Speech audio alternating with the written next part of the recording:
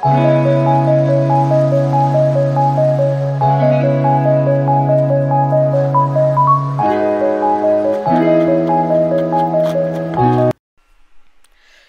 what's going on guys? Back on a video. And today I'm going to be showing you guys how to connect your mouse or gaming mouse to your PS4.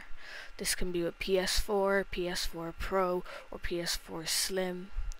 It, it's, yeah, it's any PS, any PS4.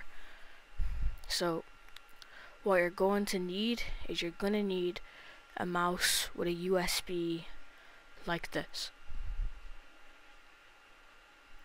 Now most mice that come with a uh, USB will like they come with USB, just like these PlayStation 4 Gold headset. Uh, these have a USB. I'll show you here. See right here, I have mine plugged into the back of the PlayStation just to stay out of the way. But yeah, you just connect it in and it comes up straight away. So now I'm going to show you guys how you can do it with the mouse. So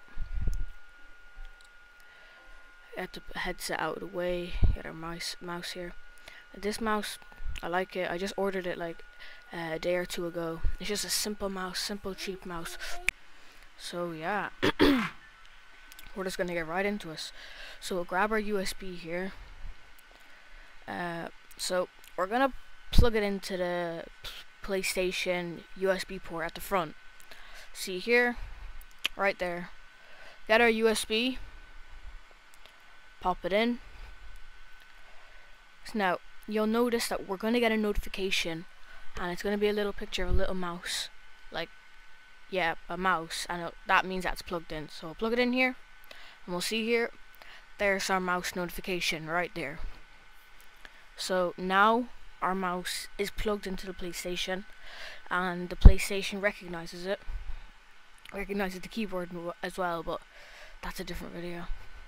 So as you can see here, the cursor for the mouse, perfectly connected. It's perfect. See here, we are on PlayStation, and here, look, you'll see all the notification. You'll see the notification bar up there in the corner. So we have our controller, our keyboard, our mouse, and our headset all plugged into one. So yeah, I mean, I like having wireless stuff because when it's wireless, it just gives it a way better look and minimalistic design.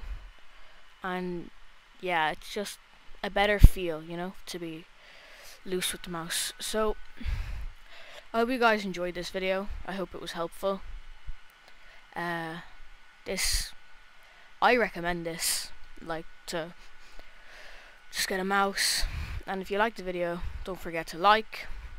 And I'll see you guys in the next one